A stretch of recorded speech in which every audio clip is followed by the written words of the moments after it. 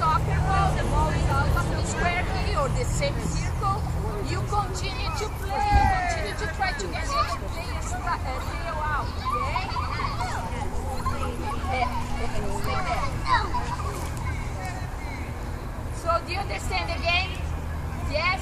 So just start question.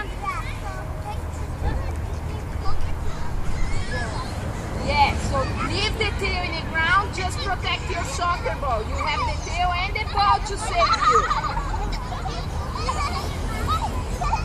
Yes. Yeah, you are running around. You need to stop. Please, please, the game. Right here, is not there. So get your soccer ball. So are you start to play? Ready to start to play?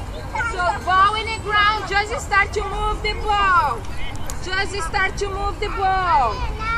Move the ball. They don't wanna play, so it's okay. They wanna go play. So move the ball.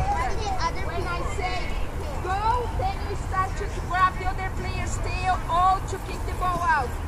Jacob, Jacob, inside, inside. You cannot go that way. Sanjay, Sanjay, Sanjay needs to be inside. He cannot go outside. Keep going. Are you guys ready? Set and go. Now you can kick it. Kick it the ball. Or get grab the other player's tail. Protect your tail. Protect your soccer ball. Keep your ball now, Layla. Keep your ball. It's okay. Nice.